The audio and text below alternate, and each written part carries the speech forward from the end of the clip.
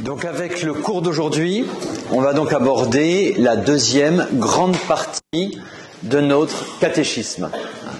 On a vu jusque-là, depuis le début de l'année, à travers le credo, toutes les vérités que Dieu nous a révélées.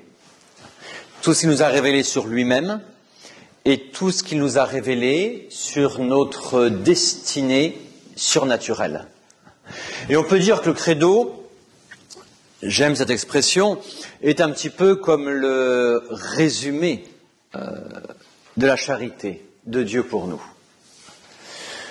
Il nous dit tout ce que Dieu a fait, la création, une œuvre d'amour, une œuvre de charité magnifique, dans laquelle il nous a donné l'être, nous-mêmes, à chacun d'entre nous, à l'être humain. De là, l'homme ne correspondant pas à cet amour de Dieu, c'est le drame du premier péché, on l'avait vu, le péché originel, eh bien Dieu va se donner à nous.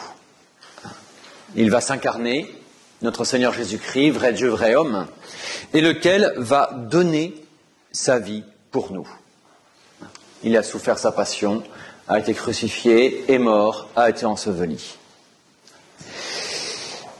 Il se donne ainsi pour pouvoir nous donner le ciel. Non seulement nous donner notre être, c'était la création, mais nous donner quelque chose de son être. La grâce fait de nous des euh, héritiers de Dieu. Saint Pierre nous dit que nous sommes rendus participants de la nature divine par la grâce. Et donc, ça va être effectivement toute la deuxième grande partie du credo, la résurrection du Christ, son ascension, assis à droite de Dieu le Père Tout-Puissant, ce triomphe de notre Seigneur Jésus-Christ qui nous est manifesté hein, par, euh, dans sa victoire sur le péché, hein, et victoire dans laquelle il nous entraîne. Quoique monté au ciel, il reste présent sur terre par son action, par son Église, je crois à la Sainte Église catholique, à la communion des saints.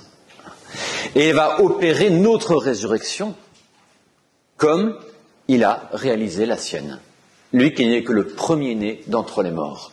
Résurrection spirituelle de l'âme des ici-bas, je crois en la rémission des péchés. Et résurrection corporelle à la fin des temps, je crois à la résurrection de la chair. Et tout ça nous mène où? Je crois à la vie éternelle. Ce credo qui partait de Dieu nous ramène, et je dis bien nous ramène à Dieu, en Dieu. C'était tout le plan magnifique du credo. Avec cette révélation, on constate donc la véracité de la phrase de Saint Jean quand il nous dit que Dieu est charité. Quand on la comprend en vérité, cette phrase, quand on réalise ce que c'est que la charité, eh bien, effectivement, en toute vérité, on peut dire que le résumé du credo est là, Dieu est charité. Donc maintenant, dans cette deuxième partie du catéchisme, il va falloir répondre à la deuxième grande question. La première était de dire qui est Dieu, pourquoi nous sommes faits, quel est le plan de Dieu sur nous? Et donc, une fois que nous savons ça, la deuxième question est de savoir, très bien, mais maintenant, comment? Comment répondre à cet amour de Dieu? Comment y correspondre? Comment, autrement dit, vivre en conformité avec cette vocation que Dieu m'a donnée? Et là, nous arrivons donc effectivement à cette deuxième grande partie du catéchisme, qui est celle de la morale. Alors là, tout de suite, certains se disent, la morale, quelle horreur. L'abbé va nous faire la morale pendant deux mois. On a tourné euh, ce mot, vous le voyez, euh, de manière très négative, très péjorative. Quand je dis on, il faut être très clair. Hein. Euh, ceux euh, qui vivent euh, sans aucune règle de vie, hein, qui veulent tout se permettre, ont dénigré ce mot qui les dérange. Revenons à son étymologie. Morale, mos, Maurice, les mœurs, hein, c'est la conduite de vie. Comment diriger ma vie pour pouvoir arriver à mon but? C'est ça la morale. Et donc, nous avons découvert quel était notre but, la vie éternelle, aimer Dieu. Si on revient à la Genèse, création de l'homme, chapitre 1, versets 26 et 27, Dieu a créé l'homme à son image en guise de ressemblance, pour qu'il devienne ressemblance. C'est là ma vocation fondamentale. Et donc maintenant, eh bien, comment dois-je vivre? Qu'est-ce que c'est que vivre en enfant de Dieu? Qu'est-ce que c'est que grandir intérieurement pour passer de l'image à la ressemblance de Dieu et ainsi mériter d'être uni à Dieu dans la vie éternelle? C'est la deuxième partie du catéchisme, la morale. Et vu comme ça, vous voyez que ce mot, loin d'être péjoratif, euh, va au contraire euh, résumer, contenir euh, toutes ces grandes lois de vie, leçons de vie, qui nous permettent de nous épanouir dans notre être et notre vocation. La morale, donc. Alors, si vous regardez les différents catéchismes ou les différents traités de théologie, vous pourrez voir qu'il y a deux grandes manières de traiter ce sujet. On pourrait d'une part faire un tableau du chrétien accompli. Et dans ces cas-là, on va étudier les unes après les autres toutes les vertus. Qu'est-ce que c'est qu'une vertu? Une vertu, c'est une euh, disposition de l'âme habituelle, donc une disposition, qui la pousse à agir bien, de manière prompte, facile et joyeuse. Ça, c'est la vertu.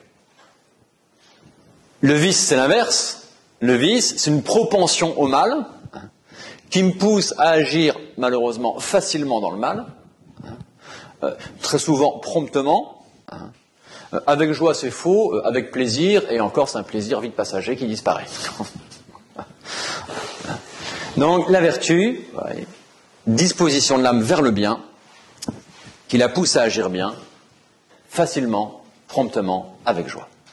Ces vertus, elles sont de deux ordres. On avait déjà vu ça quand on avait abordé le péché originel. C'était la fin du cours sur le péché originel. On a vu ce que le premier Adam nous avait légué, hein, euh, le triste héritage d'Adam, les blessures du péché originel, la séparation avec Dieu d'abord, et toutes ces blessures hein, d'ignorance, de malice, de faiblesse, de concupiscence. On a vu tout ça. Hein, et en conclusion, je vous indiquais rapidement ce que le nouvel Adam, le Christ, euh, venait réparer en nous et comment. Et on avait vu que cette séparation avec Dieu avait été comblée par ce lien avec Dieu que nous avons. Et ce seront trois vertus. Les vertus dites théologales, la foi, l'espérance, la charité. La foi qui me permet d'entendre Dieu, d'écouter Dieu. L'espérance qui me permet de tendre vers lui. La charité qui me permet de l'aimer. Les vertus théologales qui venaient combler cette séparation engendrés par le péché. Et de là, les quatre grandes vertus appelées cardinales. Cardo, cardinis, en latin, c'est le gond d'une porte. C'est ça le cardo. Hein, Et euh, pourquoi? Parce que ce sont les quatre vertus euh, sur lesquelles, à partir desquelles euh, se déclinent toutes les autres vertus, auxquelles se rattachent toutes les autres vertus. C'est pour ça qu'on s'appelle cardinal. Prudence, justice, force, tempérance.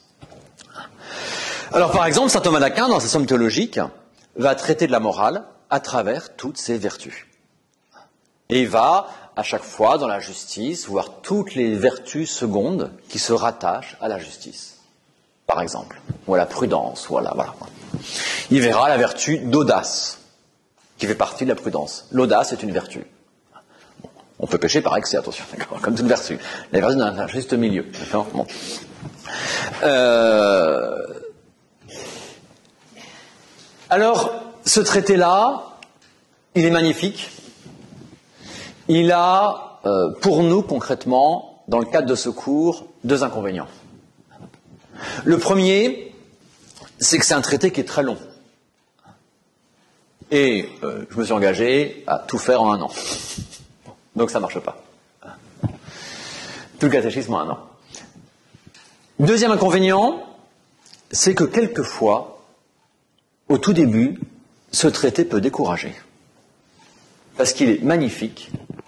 On se dit c'est splendide, mais c'est tellement splendide bah, que c'est pas pour moi.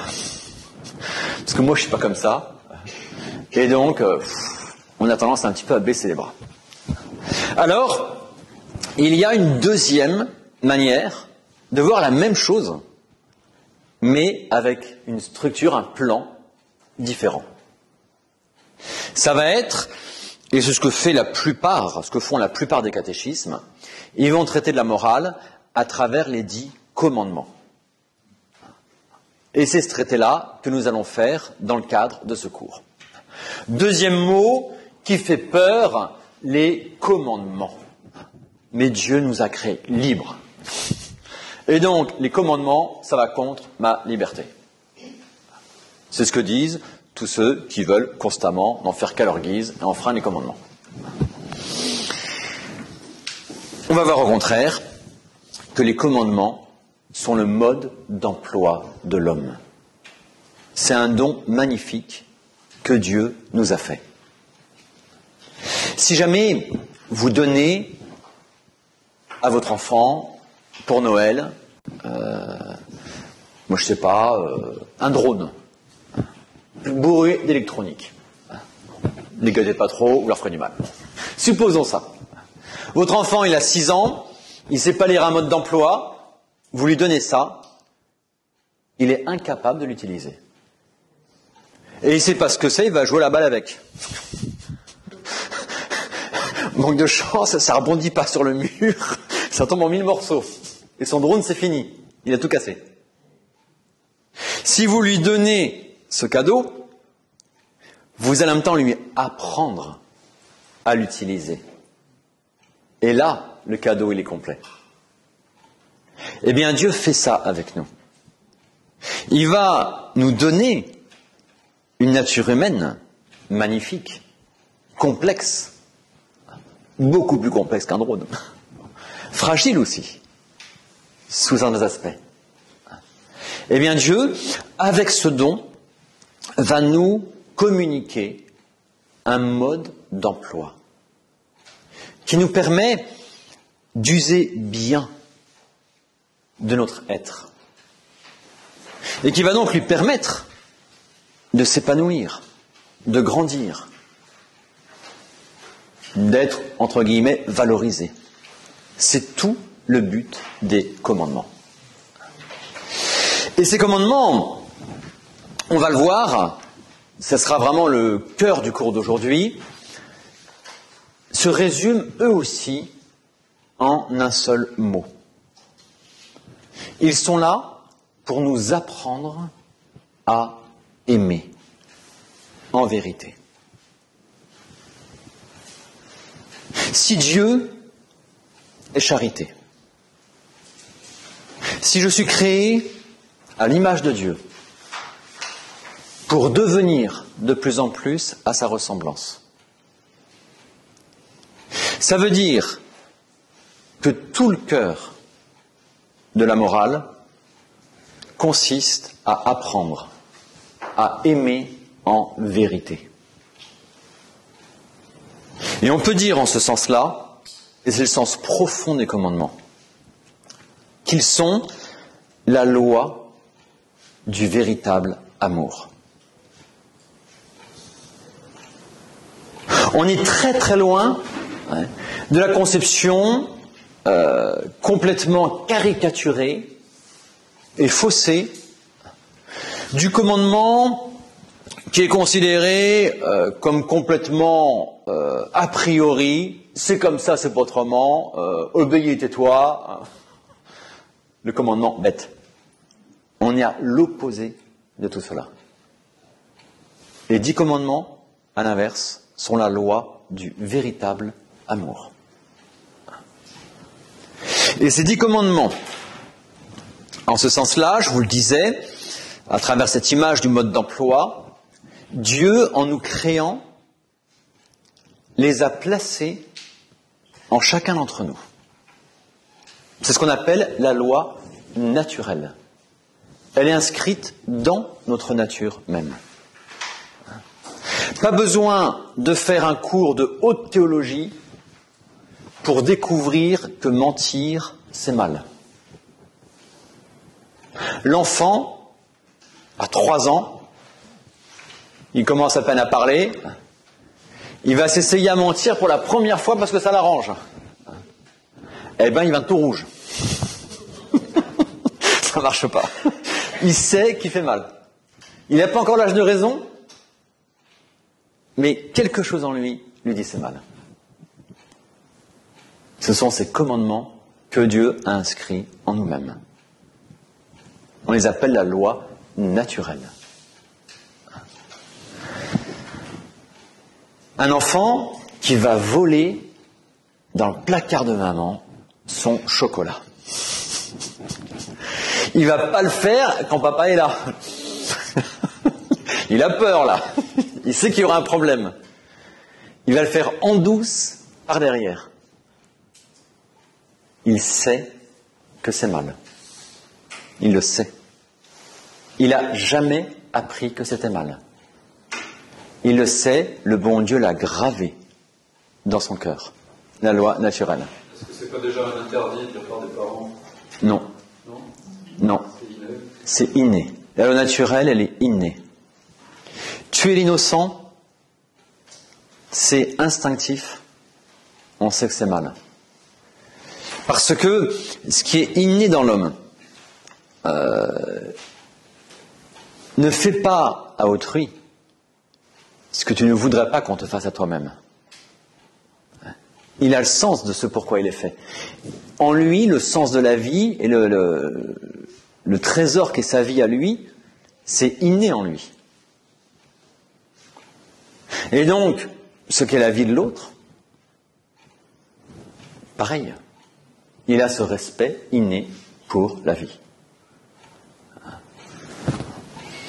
Demandez si vous connaissez dans votre entourage des militaires qui sont partis en opération extérieure, euh, que ce soit au Mali, n'importe quoi, et euh, qui ont eu à tirer sur quelqu'un, et qui ont tué quelqu'un.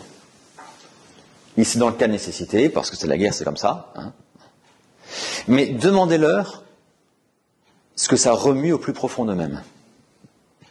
C'est inné. Les commandements sont placés par Dieu en nous de manière innée. Il nous a donné ce mode d'emploi. Néanmoins, pour nous en montrer euh, l'importance, nous en montrer le côté intangible, Dieu a voulu les révéler avec un faste, je vais dire une mise en scène euh, assez extraordinaire sur le mont Sinaï. Lorsqu'il va donner sa loi à Moïse, et donc principalement ces dix commandements, euh, la terre tremble, euh, le mont Sinaï fume, il y a le tonnerre, il y a le son de trompette dans le, ciel, enfin, euh, tous les juifs, pétoche totale. Et ils vont aller se protéger sur un matelas, ils n'en avaient pas, enfin, on prendre l'équivalent, quoi, sous couverture, d'accord, euh, au fond de leur tente, hein. et ils vont dire à Moïse, bon, euh, toi vas-y, puis tu nous diras, tu nous diras. hein. Voilà.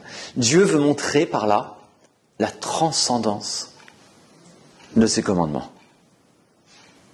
Hein. C'est ce qu'il veut nous montrer.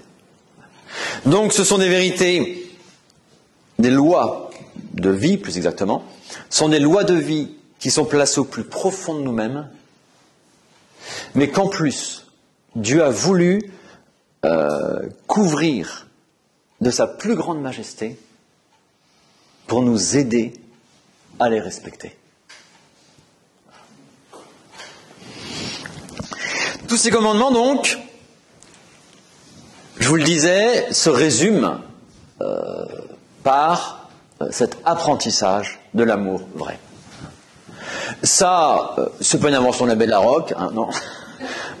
Ça, c'est notre Seigneur Jésus-Christ. Rappelez-vous cette scène de l'Évangile. C'est en Saint Matthieu, au chapitre 22. Vous avez euh, des scribes, des pharisiens, qui viennent pour le tenter. Et il l'interroge, lui demandant quel est le plus grand des commandements? Réponse de notre Seigneur. Le plus grand commandement, tu aimeras le Seigneur ton Dieu de tout ton cœur, de toute ton âme, de tout ton esprit. Voilà le plus grand, le premier des commandements. Il ajoute, vous connaissez le passage par cœur, même en grec, hein. le second lui est semblable. Tu aimeras ton prochain comme toi-même. Ce qui m'intéresse, c'est la suite. À ces deux commandements se rattache toute la loi et les prophètes. Toute la loi. Tous les commandements se résument par ces deux. Tu aimeras Dieu, tu aimeras ton prochain. Un seul mot commun, aimer. Le tout est de savoir et de réapprendre à aimer en vérité. Mais c'est tout le cœur de la morale. Alors, ce résumé de la loi donné par notre Seigneur Jésus-Christ nous montre tout de suite, nous renvoie, si je peux dire, au plan du décalogue. Décalogos, les dix paroles, les dix commandements. C'est ça que ça veut dire, décalogue. Avec ce qu'on appelle donc les deux tables de la loi. Les trois premiers commandements, tu adoreras un seul Dieu, tu respecteras le nom du Seigneur, tu sanctifieras le jour du Seigneur. Les trois premiers commandements touchent l'amour de Dieu. Les sept autres vont toucher l'amour du prochain. D'où le résumé notre Seigneur, tu aimeras Dieu, tu aimeras ton prochain.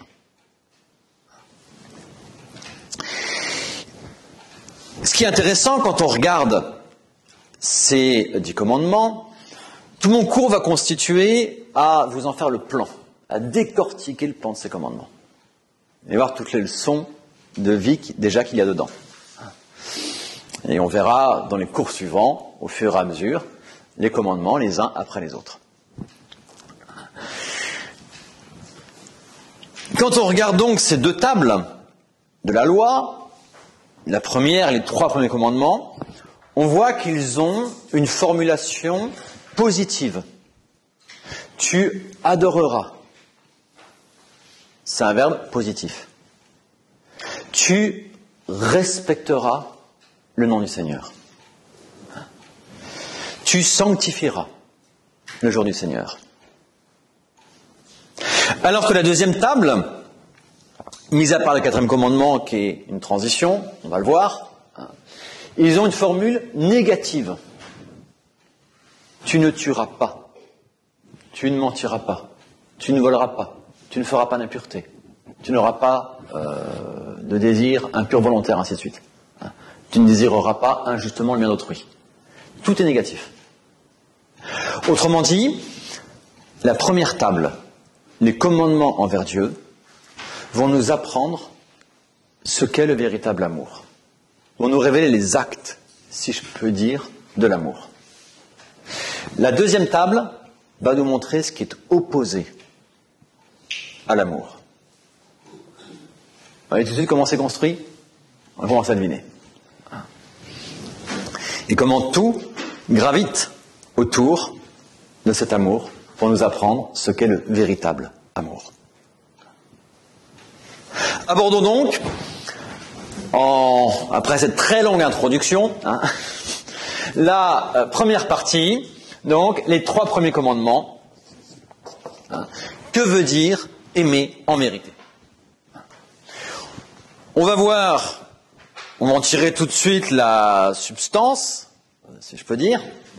On va voir les trois actes de l'amour et on va voir comment, à travers ces premiers commandements, ils vont s'appliquer à Dieu.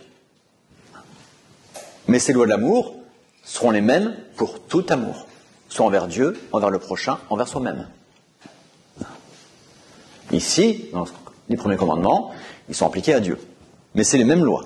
Les mêmes lois. Premier commandement, tu adoreras un seul Dieu.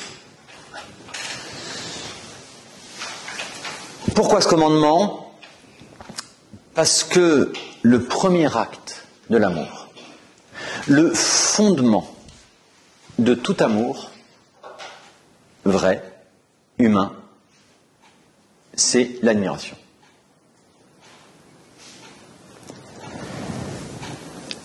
J'ai commencé par dire le premier acte de tout amour vrai, de tout amour humain. Pourquoi j'ai dit ça? Parce que il faut commencer peut-être par lever euh, une équivoque. Vous savez, ce mot-là n'a jamais été autant galvaudé euh, qu'aujourd'hui. Au nom de l'amour, on fait la pire des crasses. Rappelons que le mot aimer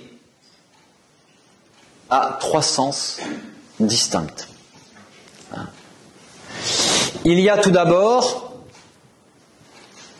premier sens, euh, j'aime le chocolat.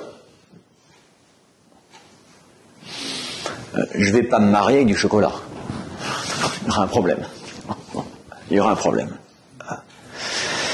J'aime le chocolat, ça fait appel à quoi? Ça fait appel à la notion de plaisir. Ça veut dire, manger du chocolat me fait plaisir. Manger une endive ne fait pas plaisir à un enfant de 4 ans. Là, tout le monde comprend. Vous voyez, la règle ici, la norme, dans ce cas-là, du mot aimer, c'est le plaisir. On est face à un premier type d'amour qu'on va appeler l'amour de concupiscence. Cupio, désiré, désir, hein, et donc euh, concupiscence. Euh, cet amour-là euh, n'est pas spécifiquement humain. Un chien, il sait faire, ou un chat, il sait faire la différence entre les croquettes qu'ils aiment et celles qu'ils n'aiment pas. Ils feront leur caprice devant une marque bas de gamme voyez Donc euh, ici, euh, c'est pas euh, pour nous apprendre cet amour-là que les commandements nous ont été révélés ou ont été placés en notre âme. Ça, c'est l'amour de concupiscence. C'est pas de lui dont on va parler. Deuxième sens du mot aimer. Alors on va prendre un exemple sur la politique. Euh, quoi qu'on en pense, c'est pas le sujet ici. L'Union européenne euh, aime la Turquie, et puis euh, son amour change tous les 15 jours. un jour j'aime, un jour j'aime pas, un jour tu fais partie de moi, on t'intègre, le lendemain on va te mettre dehors, enfin bon voilà, d'accord Qu'est-ce qui se passe ici? Qu'est-ce qui se passe ici? L'exemple est intéressant pour remonter à la nature de cet amour. On est face à ce qu'on appelle un amour d'intérêt. L'amour d'intérêt. C'est le deuxième type d'amour. Hein? Euh, je t'aime parce que tu me fais du bien. Hein? Tu me fais la cuisine, tu fais ce que tu veux. Vous voyez euh, Je t'aime parce que tu me fais du bien. dans le fond, qu'est-ce que je suis en train de dire? Je m'aime, et tant que tu m'arranges, on continue. on fait euh, une alliance basée sur l'intérêt personnel.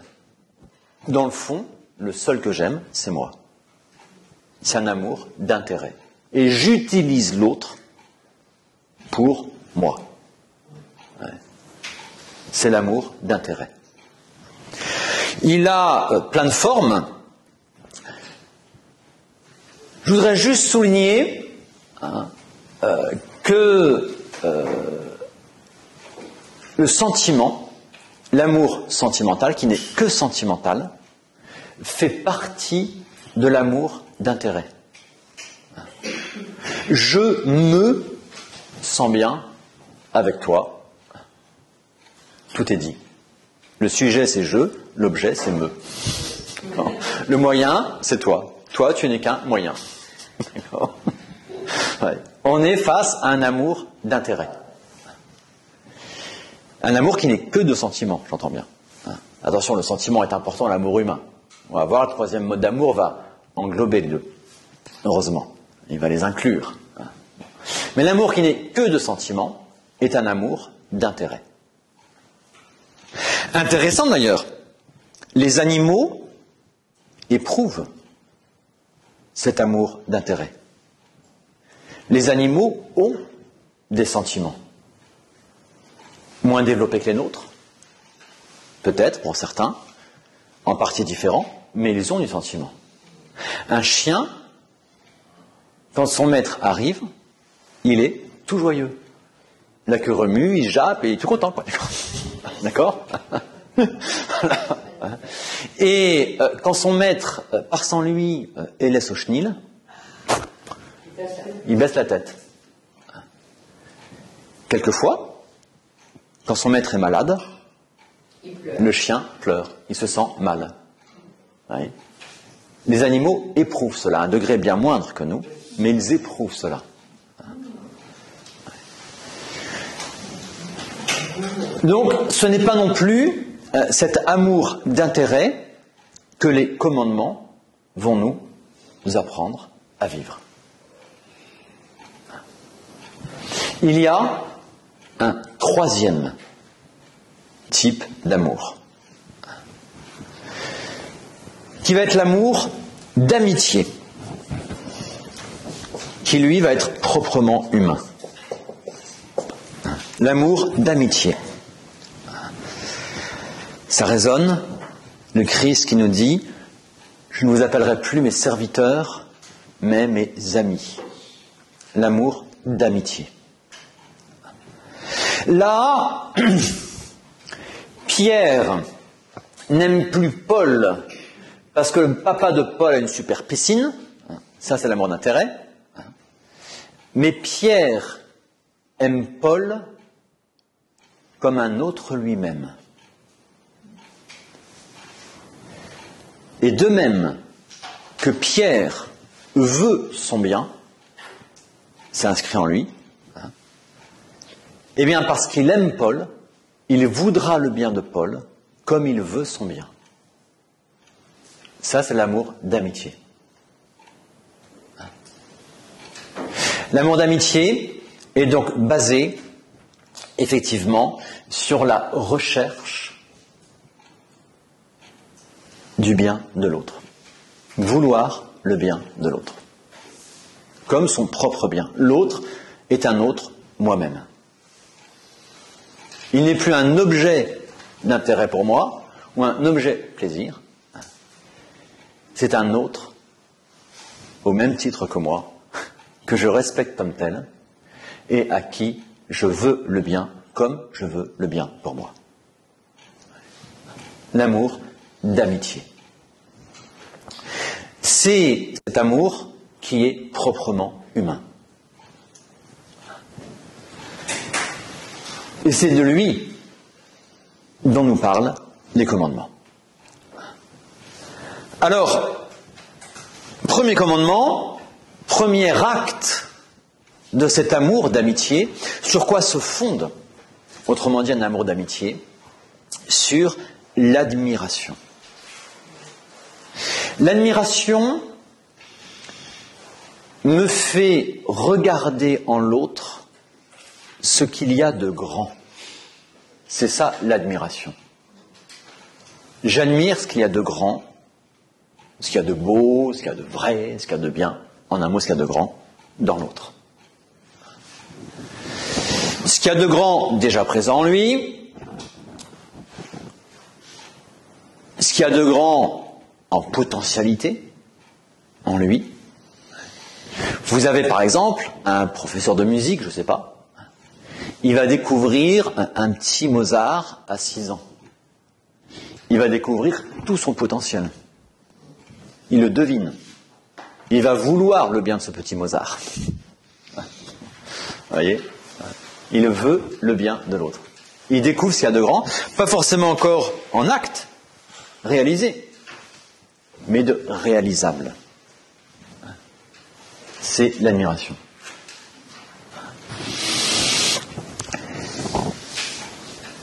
Cette admiration, quand j'admire un héros, prenez quelqu'un d'autre que Batman. hein. Quand j'admire un héros, hein, je vois en lui euh, plein de qualités, hein, et euh, j'en fais mon modèle, c'est mon héros, je l'aime, hein, très bien. Maintenant, il a aussi ses limites, voire ses défauts. L'admiration, elle est donc limitée. Lorsque l'admiration, elle porte sur celui qui est le bien même,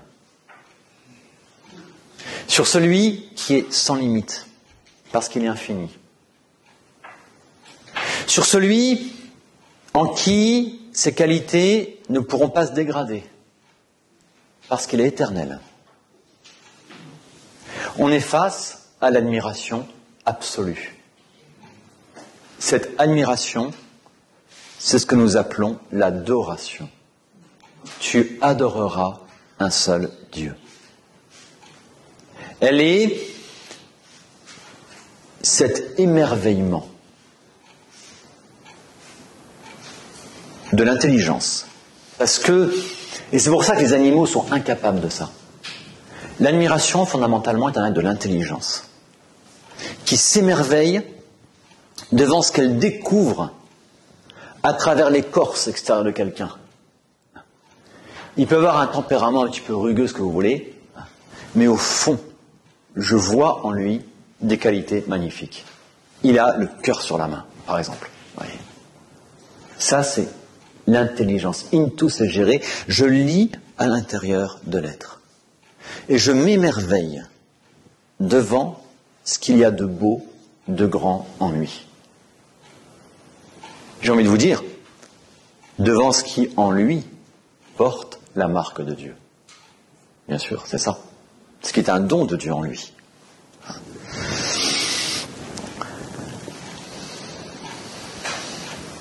Premier acte de l'amour, d'où le premier commandement.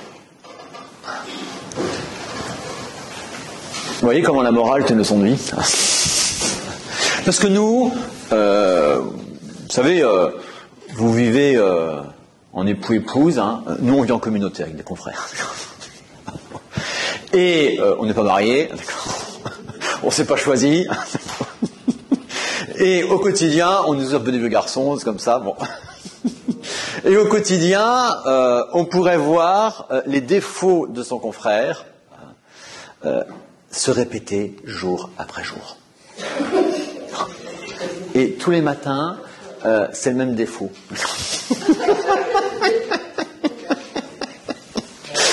Alors, si je regarde que ça, mais à la fin, euh, soit je me tire une balle, soit je lui tire une balle. Vous voyez Qu'est-ce qui se passe? Qu'est-ce qui se passe quand je fais ça? Je suis à l'opposé de l'amour. Au-delà de l'écorce et de ce que moi je ressens, il me fait pas plaisir, je me sens pas bien avec lui. Au-delà de tout ça, je vois en lui Et je renouvelle souvent mon regard pour voir en lui ce qu'il y a de beau, ce qu'il y a de vrai, ses efforts, tout ce que vous voulez. Et là, je nourris, j'alimente cet amour. L'amour de Dieu s'alimente. Il s'alimente. Il faut savoir renouveler son regard sur Dieu. Il faut savoir souvent admirer, s'émerveiller devant tout ce qu'il a fait pour nous. L'Église est une mère, hein. et voyez, elle déploie tout au cours d'une année, une année liturgique, tous les mystères de Dieu, successivement, pour renouveler en nous ce regard d'admiration sur Dieu. Si je ne renouvelle pas ce regard, je m'enferme sur moi-même, sur ce que je ressens, ce que je ne ressens pas, et j'arrête d'aimer. Savoir alimenter son amour vis-à-vis de Dieu. Pour ça, quand on verra les trois premiers commandements, dans le détail, les uns après les autres, hein, je m'arrêterai euh, sur les grandes vertus théologales, la foi, l'espérance, la charité, qui nous permettent justement d'alimenter tout ça. Deuxième acte de l'amour. Tu respecteras, le nom du Seigneur. Deuxième acte de l'amour, c'est le respect. C'est le respect. On peut dire que le respect est comme l'incarnation, la mise en acte concrète de l'admiration que j'ai pour quelqu'un. On va prendre tout un exemple basique, très facile. Vous avez des parents, tout jeunes parents, ils ont leur premier-né, euh, on de la maternité, il est là, merveilleux, et merveilleux. Les parents sont émerveillés devant cet enfant. Pourquoi? Ils savent très bien que dans cet enfant, il y a quelque chose qui les dépasse complètement. Il y a le mystère de la vie. C'est pas eux euh, qui ont fabriqué l'enfant. Non, on ne fait pas un enfant, pitié. Le mot est horrible.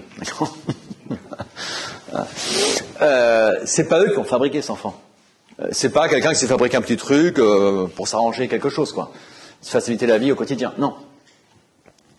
Ils, ils savent quel mystère de la vie et qu'ils connaissent encore bien peu. Ils ne savent pas ce que sera cet enfant, ils ne savent pas son potentiel, ils ne savent pas tout ça. Ils sont émerveillés par la vie qui est là. Qu'est-ce qui se passe? Parce qu'il y a cette admiration, eh bien, aussitôt, il y a ce respect pour cet enfant. Regardez euh, comment la maman a préparé la chambre, tout en rose c'est une fille, tout en bleu c'est un garçon, enfin bon, on a préparé la de robe et tout le machin et tout le truc, d'accord On a attendu, on a, voilà, on, le choix, hein, et on va le respecter jusque dans ses faiblesses, dans sa fragilité. Hein. Euh, on va lui apprendre à marcher, euh, le père va être tout idiot, bibi devant le gamin. Vous voyez, on respecte l'enfant jusqu'à sa faiblesse. Hein. La mère, elle va se lever la nuit, ça va être compliqué pour elle, d'accord Elle va respecter le rythme de l'enfant. L'amour, l'admiration, s'incarne dans le respect.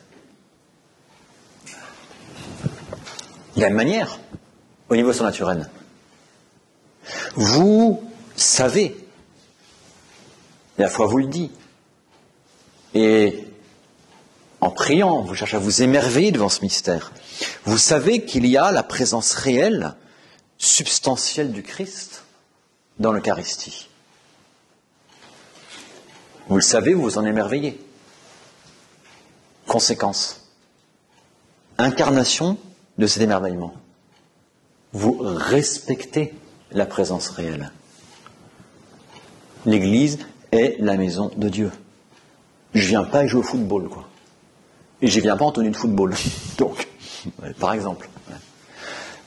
On se tait dans l'église, on fait une génuflexion. Autant de marques de respect magnifiques. Et ce respect, Et justement, cette euh, manifestation de votre regard d'admiration, et en l'occurrence ici de votre regard d'adoration vis-à-vis de la présence réelle. Et on peut dire qu'un amour peut se juger, s'estimer en fonction du respect qu'on a pour l'être aimé. C'est une marque de la véracité de l'amour ou du degré d'amour qu'on a pour une personne. Et qui plus est pour Dieu. La part de respect qu'il y a dedans. Deuxième acte de l'amour. D'où le deuxième commandement, tu respecteras le nom du Seigneur. Alors le nom chez les Hébreux, dans la Bible, euh, c'est pas une série de lettres identifiant quelqu'un. Hein. Non, non, euh, le nom est beaucoup, le, mot est beaucoup plus fort en hébreu. Le nom, euh, c'est l'être profond de la personne en tant qu'elle se manifeste. C'est ça le nom. Donc on peut dire, tu respecteras le, Dieu lui-même, c'est ça que ça veut dire. Hein. C'est donc ce grand respect de Dieu. Deuxième de. Madame Par rapport à l'activité de blasphème, ça relève respect de. Alors, c'est très intéressant, effectivement. Euh, qu'en est-il du droit supposé au blasphème? Quand un monsieur Macron réclame le droit au blasphème, c'est quelque chose de dramatique. c'est quelque chose de dramatique. Hein. Parce que ça veut dire on a le droit de mépriser. Et il va complètement renverser le regard humain, qui n'est plus là pour admirer ce qu'il y a de plus grand que lui. Il refuse tout ce qu'il y a de plus grand que lui. Il n'y a pas de loi au-dessus de la République. C'est fini. Il n'y a pas de loi naturelle. Si la République dit tu peux tuer l'innocent, et moi tu pourras tuer l'innocent. c'est aberrant. C'est aberrant de faire une chose pareille. Hein, euh, comme on refuse tout, c'est le principe même de l'orgueil. On refuse tout ce qu'il y a de plus grand que soi. On est le suprême. Donc je peux mépriser. L'orgueilleux, ça réflexe du démon. Pour essayer de sortir sa mélasse, il enfonce les autres. Et donc il méprise. Regard catholique est tout à l'inverse. Il tend vers le bon Dieu, il emmène les autres avec.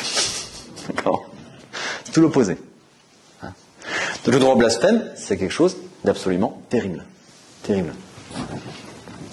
Et quand bien même, vous voyez, euh, euh, avec des, fausses religions, euh, je ne vais pas commencer, si vous voulez, à mépriser Allah, un faux Dieu, devant les musulmans. Je n'ai pas à respecter Allah. J'ai pas à respecter Mahomet. Mahomet, c'est un chef de guerre qui a fait que des horreurs. Hein. Euh, j'ai pas à respecter Mahomet comme tel. Maintenant, j'ai à respecter le musulman qui est devant moi. Et je vais pas commencer à, euh, de but en blanc, lui dire quelque chose euh, qui va le fermer complètement. C'est stupide. C'est stupide. Ce serait bien qu'un jour il découle la vie de Mahomet. Ce serait bien qu'il la lise. Là, ça lui ouvrirait les yeux sur la vérité. Mais c'est pas en commençant par insulter la chose que je vais l'aider à découvrir la vérité. Je le ferme et je lui empêche de découvrir la vérité. Donc c'est absolument absurde, mais on va le voir tout à l'heure, c'est caractéristique, ce droit blasphème de notre époque moderne, où notre monde ne sait plus aimer. Et on est aux antipodes des actes de l'amour aujourd'hui. On va le voir. Donc, oui, deuxième acte de l'amour, indispensable, et même à l'aune duquel on peut juger la véracité d'un amour, c'est la part de respect. Je pense par exemple, vis-à-vis -vis de Dieu, on a fait une énorme bêtise en désacralisant, en banalisant le culte. C'est pas à coup de guitare, de machin et de euh, de, de bam bim boum, si vous voulez, dans une église, hein, euh, qu'on va élever les âmes vers Dieu. C'est pas vrai. C'est pas vrai. Hein. Il faut élever les regards des gens. Hein. Et de même qu'il est important euh, pour aider l'autre à aimer, il est important de savoir se faire aimer. Il est important de savoir euh, se rendre admirable à l'autre. Il est important de savoir se rendre respectable à l'autre. Se rendre admirable, c'est pas dire, t'as vu, je suis beau, hein. Euh, non, non. c'est savoir montrer, manifester ce qu'il y a de grand en nous, au moins nos grands désirs. Et ça aide l'autre à nous aimer. Se rendre respectable euh, par sa manière de se comporter, par plein de choses. Mais ça aide l'autre à nous respecter. Eh bien, Dieu, pour nous aider à l'aimer, eh bien, il se manifeste comme admirable. Il se manifeste comme respectable. C'est pour ça que ces commandements, il les a donnés euh, dans toute cette, euh, ce faste du Sinaï. C'est pour nous aider à respecter. C'est un acte d'amour magnifique de la part de Dieu, quand on y réfléchit. Eh bien, je pense, si vous voulez, que l'Église, et tout catholique à sa manière, doit vivre cela. Être apôtre, euh, c'est cela. C'est rendre aimable ce qu'on aime. Et donc c'est le rendre admirable. Et donc c'est le rendre respectable. il y a eu tout ce mouvement, euh, là on est sur de loi psychologique, humaine, hein, dans le fond qui est euh, un peu contre nature, qui a consisté à tout banaliser, à tout ravaler, euh, on n'élève pas le regard de l'homme comme ça. Je crois pas. Je crois pas. Donc, oui, deuxième acte, le respect. Troisième acte de l'amour, c'est le service. J'ai découvert ce qu'il y a de grand dans l'autre et ce qui est appelé à devenir grand. Je respecte cela et donc, je vais servir ce qu'il y a de grand dans l'autre, pour que ça soit encore plus grand, ou pour que sa grandeur soit manifestée, que sa grandeur soit reconnue. Ce professeur de musique, qui avait découvert son petit Mozart, il va chercher à faire en sorte, eh que ce petit Mozart soit connu. Il va faire des concerts pour lui, il va manifester quelque part ce qu'il y a de grand en lui. Il a manifesté sa gloire. Nous sommes ici, vis-à-vis de Dieu, face au troisième commandement. Tu sanctifieras le jour du Seigneur. Qu'est-ce que c'est? C'est le culte. Le culte de Dieu, c'est le service divin qui consiste effectivement à fondamentalement chanter la gloire de Dieu. C'est le culte vis-à-vis de Dieu, le service de Dieu. Notez que cet aspect-là, le service du bien de l'autre, hein, euh, il, implique, vous voyez, forcément, euh, l'oubli de soi. Ça coûte. Ça coûte à des parents euh, d'éduquer leurs enfants. Ça coûte à une maman de se lever deux fois dans la nuit pour aller nourrir son tout petit. ça coûte. Donc forcément, ça implique l'oubli de soi. Donc ça implique forcément le sacrifice. Mais ce qui motive fondamentalement cet oubli de soi, ce qui motive ce sacrifice, c'est l'amour. L'amour de l'autre, vouloir le bien de l'autre.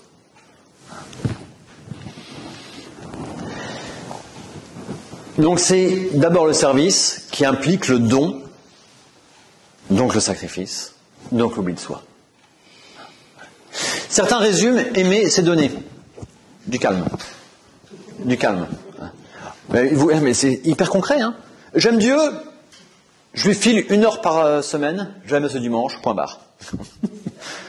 j'ai donné un truc à Dieu, hein, euh, c'est bon.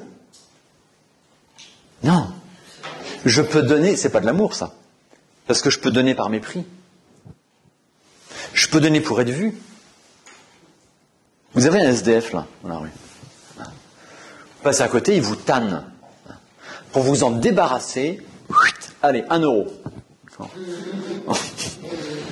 Vous lui donnez quelque chose. Mais c'est pas de l'amour. C'est du mépris.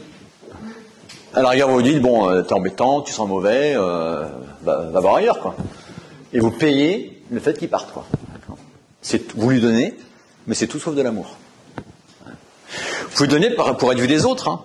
Vous faites l'aumône parce que c'est la sortie de la chapelle, là, les autres vous regardent. Ah oui, moi, je suis très généreux, moi.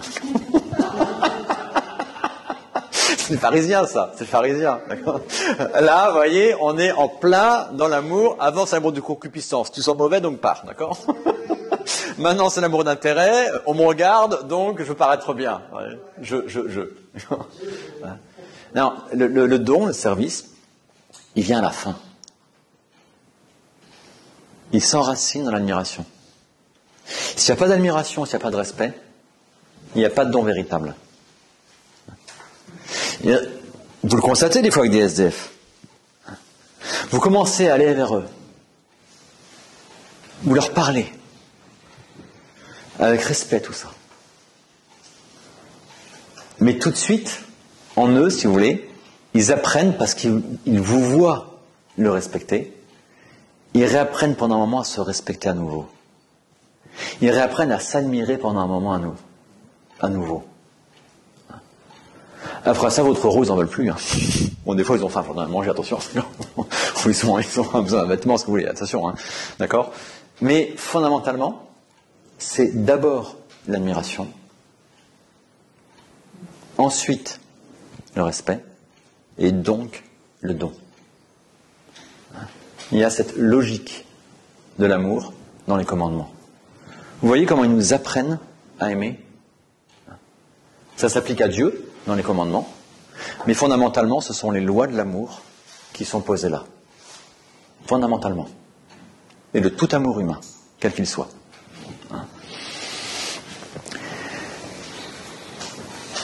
Vous voyez par là même le drame euh, de euh, ce monde occidental dans lequel nous vivons. Parce qu'il a détruit, et je vais plus loin, il s'est opposé frontalement à chacun de ces actes de l'amour. On est face à un monde qui ne sait plus admirer en vérité.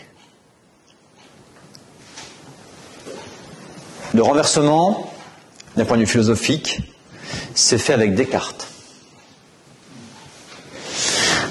La science, jusqu'à Descartes, portait essentiellement et premièrement, pas exclusivement, mais premièrement, sur ce qu'il y avait de plus grand que nous. Et on apprenait à admirer.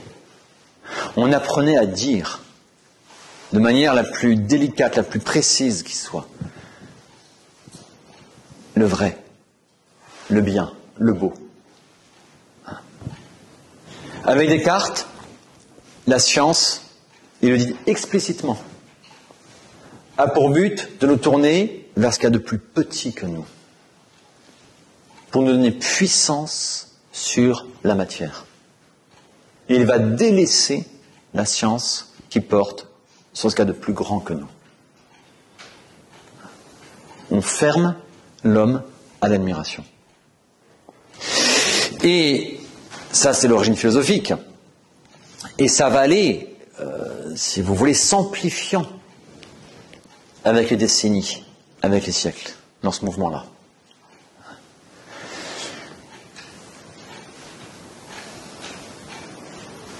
On pourrait faire, sous cet aspect-là, euh, une histoire de l'art. Euh, il faut vraiment le vouloir. J'espère qu'il n'y a pas d'admirateurs parmi vous. Mais il faut vraiment le vouloir euh, pour admirer euh, ce qu'ils appellent l'art cubiste. Vous voyez, c'est, pas quelque chose qui nous élève. C'est pas quelque chose qui nous élève. C'est pas quelque chose euh, qui nous dit le but de l'artiste digne de ce nom.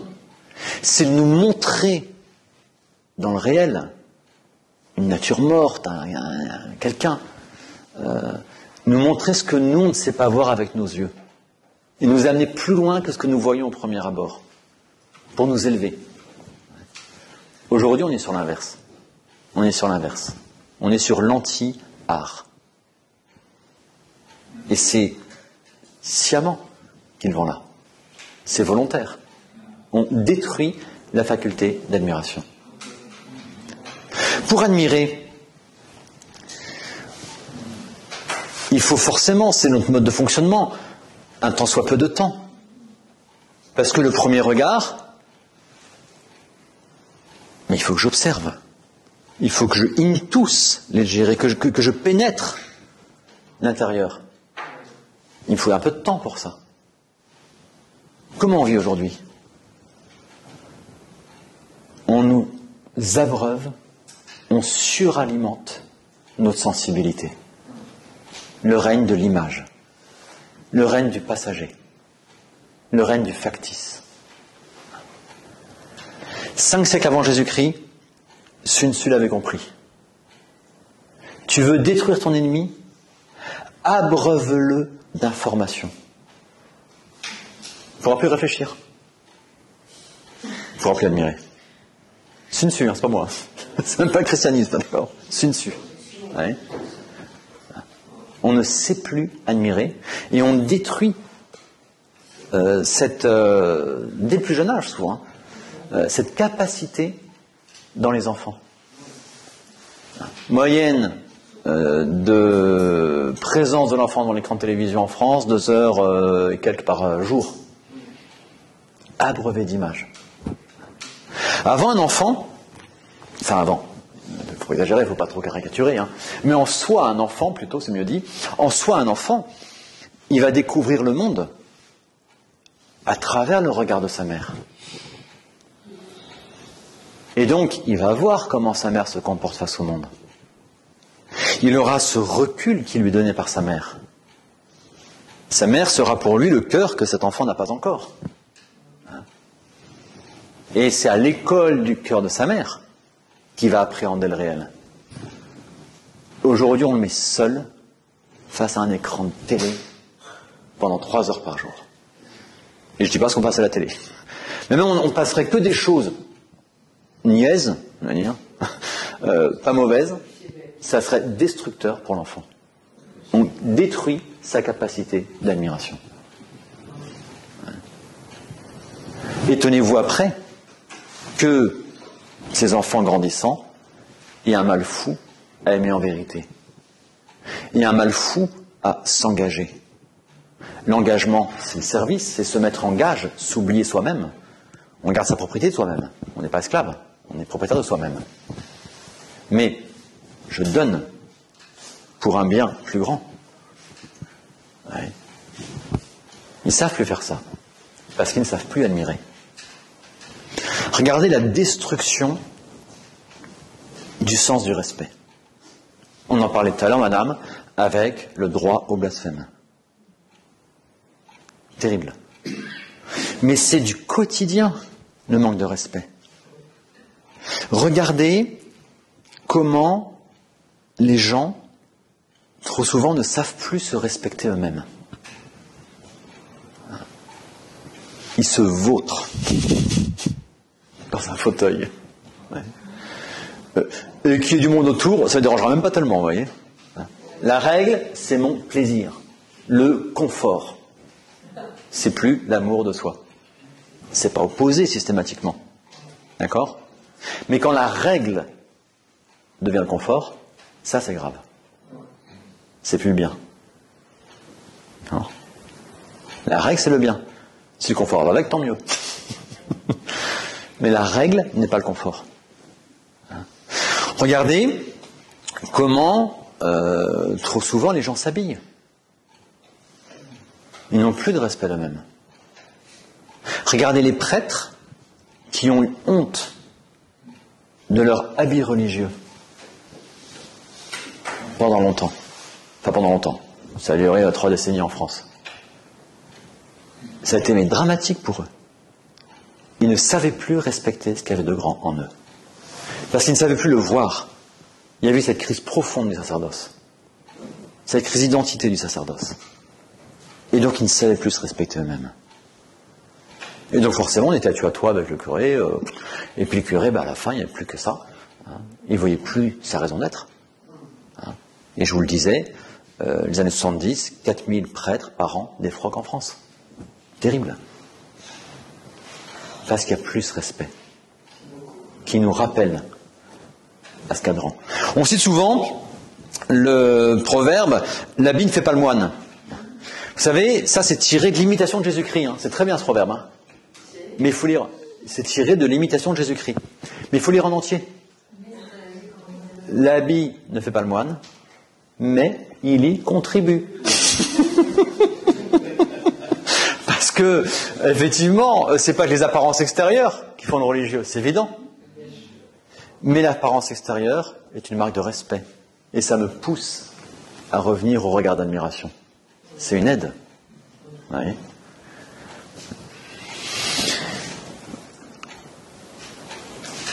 Ce manque de respect, le nombre de jeunes. Alors, vous voyez là, ils vont, euh, ils vont euh, mettre le couvre-feu pour le 31 décembre. Les jeunes disent, c'est pas grave, on va faire la boum ensemble, et puis on couchera tous ensemble dans la même pièce. Garçons filles entremêlés, tout ça, d'accord euh, Plus aucun respect. Plus aucun respect. Hein il, y a, des choses, si vous voulez, euh, si, on se, si, on se, respecte un, un, temps soit peu, si on respecte les autres, il y a des choses qu'on ne fait pas. Généralement, opposent respect. Exactement. Et vous voyez que ici, on est face à une fausse liberté. Et c'est la liberté qui s'affranchit du bien. C'est la liberté orgueilleuse, un peu à l'égal de Macron qui veut le droit au blasphème. C'est la liberté qui veut déterminer ce qui est bien et ce qui est mal. C'est le péché d'Adam et Ève qui ont voulu déterminer le bien du mal. Alors que Dieu seul, en tant qu'il est créateur, l'être et le bien, ça va ensemble. Et donc les lois du bien, les lois fondamentales du bien, elles sont donné par Dieu. Ce qui est très beau dans ma liberté, c'est qu'effectivement, euh, je deviens, comme c'est à moi de devenir. Le livre de l'Ecclésiastique dit que Dieu a laissé l'homme entre les mains de son propre conseil. Et donc ce qui est magnifique, et c'est ce qui fait toute la liberté humaine, euh, c'est que euh, nous, nous, nous avançons par nous-mêmes, nous sommes responsables du bien que nous faisons, c'est notre bien une action bonne que je fais, c'est mon action bonne que je fais. Hein. Des parents, moi je sais pas, je prends ces exemples depuis le début, mais on en prendre d'autres. Des parents qui éduquent leurs enfants, et les enfants, si vous voulez, qui grandissent sainement et bien, euh, il y a une fierté énorme des parents. On n'est pas face à des robots qui produisent. Vous voyez La liberté, c'est ça. Et c'est magnifique, mais comme ça. C'est pas euh, s'affranchir du mode d'emploi pour avoir le droit de casser le drone sur le mur, quoi. C'est absurde, pour reprendre mon exemple. C'est absurde. C'est absurde. Et donc, la liberté euh, vraie, seulement vécue, c'est pourquoi elle a été créée, eh bien c'est pour vivre dans cette admiration, ce respect et ce don. Pour aimer. Et donc, par votre conséquence, on détruit ce regard d'admiration, on méprise le respect. Soyons pas étonnés que le sens du don de soi, du service, est disparu.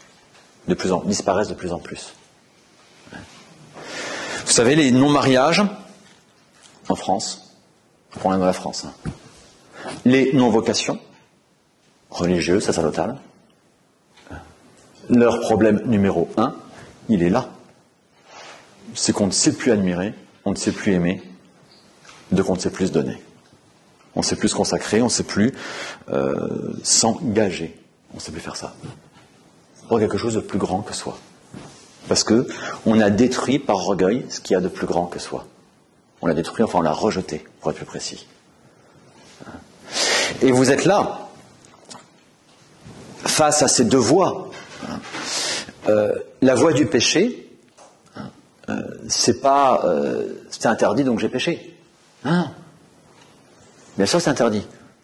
Bien sûr que ça va contre le mode d'emploi. Mais pourquoi? Eh bien parce que c'est l'opposé de l'amour. Et je détruis la capacité à aimer en moi. On est face à ces deux voies. Ce que disait Saint Augustin, hein, le monde, euh, les deux cités. L'amour de soi jusqu'au mépris de Dieu a engendré la cité de Babylone, du mal. Et l'amour de Dieu, de ce qu'il y a de grand, de vrai, jusqu'à l'oubli de soi, a engendré la Jérusalem nouvelle. Il y a ces deux lois de vie. Hein. C'est pas plus compliqué que ça. Et les commandements nous disent comment avancer dans la vraie voie, dans la voie de l'amour vrai. Il me reste un quart d'heure pour faire la deuxième partie de la table de la loi. Après les trois premiers commandements, les sept derniers commandements, hein, qui eux nous euh, vont nous dire ce qu'il y a euh, principalement euh, de contraire à l'amour, en l'occurrence, cette fois-ci, on a parlé l'amour de Dieu tout à l'heure, maintenant c'est l'amour du prochain. Alors, il y a tout d'abord le quatrième commandement qui est charnière entre la première et la deuxième table de la loi. C'est effectivement l'honneur dû aux parents. Tu honoreras père et mère. Intéressant, les parents sont, on est face à un commandement qui est positif, pas encore négatif, il est positif, il nous rapproche la première loi.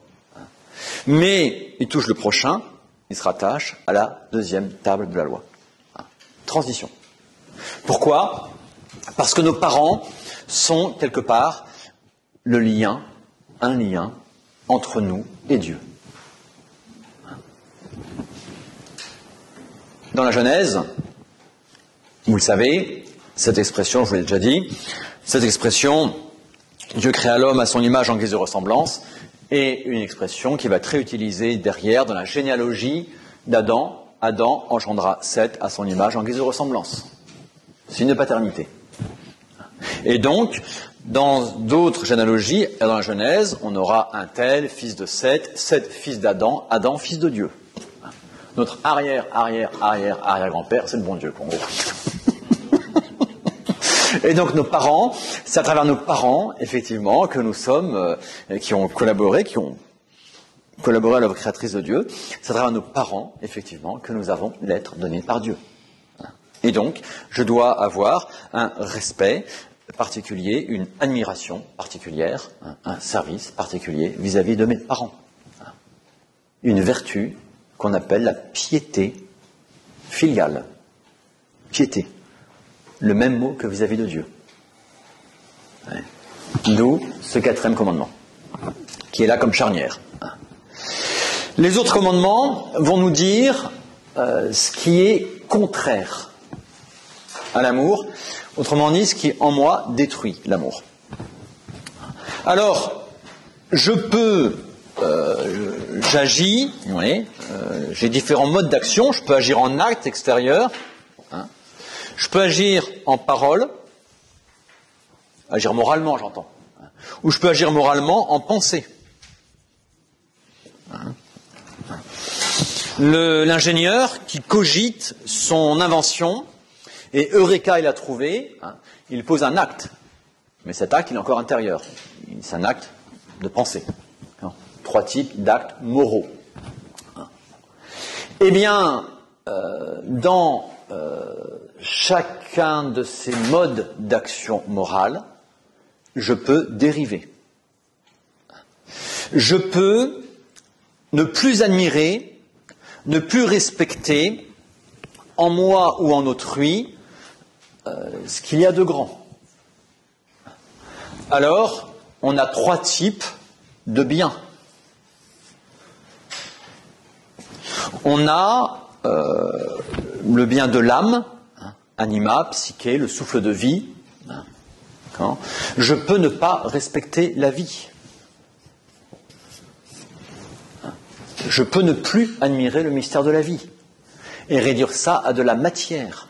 C'est une affaire de chromosomes que je peux trafiquer à l'infini. Manipulation génétique, que vous voulez. Hein je peux ne plus respecter la vie, je peux ne plus admirer le mystère de la vie.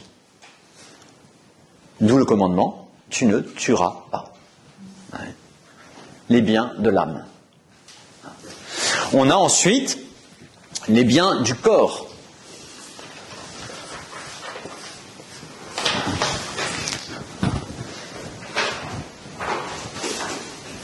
La santé, euh, et ce qu'il y a de plus beau dans le corps, peut-être, hein, cette capacité euh, à euh, coopérer justement à l'œuvre créatrice de Dieu. Et je peux ne plus respecter ça pour en faire un simple moyen de plaisir. Je détruis ce qu'il y a de grand en moi. Tu ne feras pas d'impureté. Le sixième commandement. J'ai encore des biens qui sont inférieurs, mais qui ont leur place. J'ai des biens extérieurs qui m'appartiennent.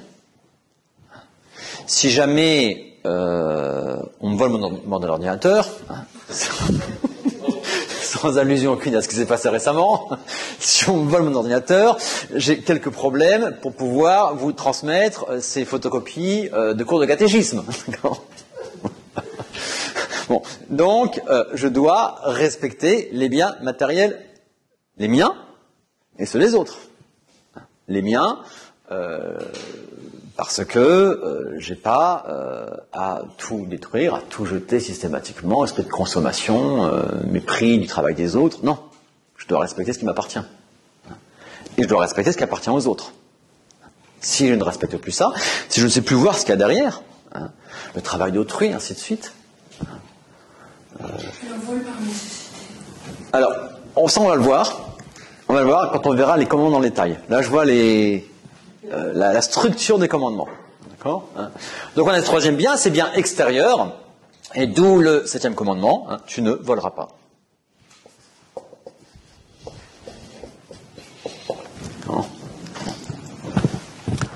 Vous retrouvez ici l'énoncé, tout se rejoint, des trois concupiscences de Saint Jean, quatrième leçon du péché originel, l'orgueil par rapport à la vie, la concupiscence des yeux, dit Saint Jean, par rapport au bien extérieur, la concupiscence de la chair par rapport au bien du corps, qui viennent, ce sont ces tendances mauvaises qui nous poussent à des agirs mauvais, à ne pas respecter ça, à ne plus savoir admirer ce qu'il y a d'admirable en cela et de respectable.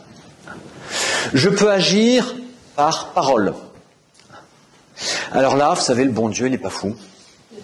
Il a fait qu'un seul commandement sur la parole. Parce que s'il fallait énoncer tout le mal qu'on pouvait faire par la parole, il aurait fallu euh, dix mille commandements. Alors, puis il y a une autre raison, on verra ça plus tard, dans le détail des commandements. Il a pris qu'un seul commandement, hein, tu ne feras pas de faux témoignages. Voilà. Saint Jacques nous dit que la langue est un des plus petits organes du corps, comme le gouvernail est l'un des plus petits organes du bateau. Mais du gouvernail dépend toute la direction du bateau. De la langue dépend la direction de la vie.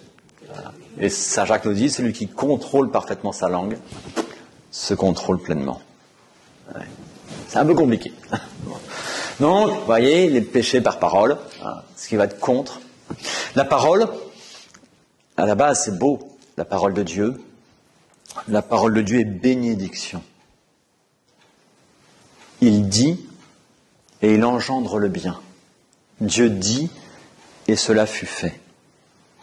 C'est tout le récit de la Genèse, de la création. La parole de Dieu, elle engendre le bien. C'est ça qu'on appelle une bénédiction. Elle crée le bien. Il est tellement facile et tellement tentant pour nous, avec la parole, d'engendrer le mal. T'as vu ce qu'elle a fait hein? Et je répands le mal. D'accord? Voyez? Donc je peux pécher par parole. Et puis enfin, euh, je peux pécher par pensée. Je peux pécher par pensée. Alors ici, euh, les commandements ne vont reprendre, euh, on pourrait reprendre ces trois choses, ces trois biens. On va reprendre euh, surtout les biens du corps et les biens extérieurs. Le neuvième commandement, tu n'auras pas de désir impur volontaire. Et le dixième commandement, tu ne désireras pas injustement le bien d'autrui. On le verra, ce qui définit l'acte mauvais, c'est l'amour du mal. Et certains, il y a des pauvres, par exemple, extérieurs, des SDF, qui auront une attache au bien matériel énorme. Ils pécheront par pensée d'avarice.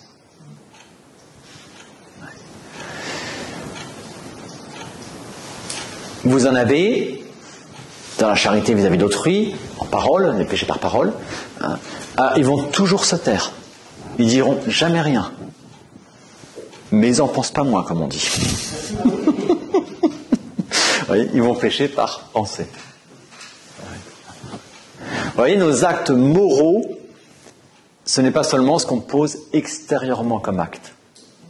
Un acte moral, c'est un acte qui est volontaire, qu'il soit extérieur ou intérieur à moi. Très souvent, quand vous pensez à quelqu'un que vous aimez, il n'y a rien d'extérieur, mais c'est intérieur. Quand vous euh, priez, on va le voir, bien sûr, il y a la prière extérieure, l'âme, c'est la prière intérieure. Et des fois, dans votre journée, il y a une prière qui ne va être que intérieure vous vous élevez vers Dieu. Heureusement vous êtes euh, à la source de cet acte. C'est ce qui en fait sa beauté. Un acte moral n'est pas seulement l'acte extérieur. C'est l'acte extérieur ou l'acte intérieur. Ce qui est défini acte moral, c'est un acte volontaire. C'est ça l'acte moral. Et donc, vous voyez, par là même, c'est cette deuxième table de la loi qui touche l'amour du prochain, va nous dire ce qui est opposé à l'amour. Et autrement dit, les différents biens euh, qui sont euh, respectables, les biens de la vie, les biens du corps, euh, les biens extérieurs, et que je dois les respecter, que ce soit dans mes actes extérieurs, dans mes paroles ou dans mes pensées. C'est comme ça que ces commandements sont construits. Reste à voir maintenant, dans le détail, un à un, ces commandements, pour répondre à toutes les questions qui peuvent se poser, comme tout à l'heure, est-ce que le vol en cas de nécessité, c'est possible, c'est pas possible, qu'est-ce qui se passe hein euh, Ça va être le but des cours qui suivent. Avant d'aborder ces cours, euh, cette étude de chaque commandement en particulier, nous ferons la semaine prochaine un cours qu'on appelle de morale générale. On va justement euh, voir avec précision ce qu'est un acte moral et dans quelle mesure il engage la responsabilité. C'est là où on verra euh, ce que c'est qu'un acte méritoire, ce que c'est qu'un péché véniel, ce que c'est qu'un péché mortel, les conditions pour qu'il y ait un péché mortel.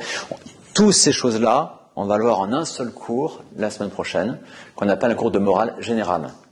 Quand on aura comme ça ces grilles sur l'acte humain, eh bien on pourra de là appliquer à chaque commandement les uns après les autres. Bref, bref vaste programme on ne restera pas que 15 jours sur la morale, un peu plus. voilà, on va finir par la prière.